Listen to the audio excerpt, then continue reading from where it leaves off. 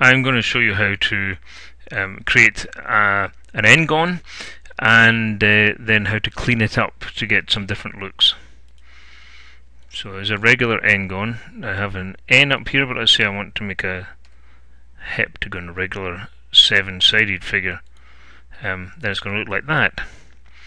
Now, um, various things some people um, object to.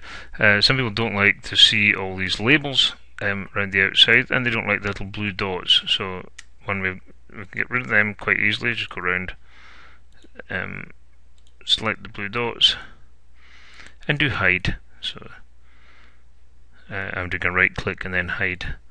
Now those have gone away. Uh, maybe we don't want to see that center point either, so we hide that.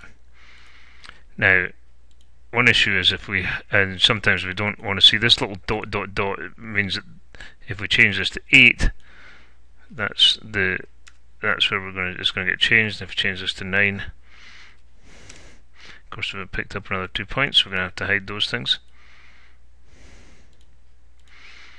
now if I hide this um, unfortunately also hides the actual shaded polygon. We end up with an open polygon. If that's what we want, then then all to the good. If that's not what we want, we're gonna what we're gonna do is we're gonna select all these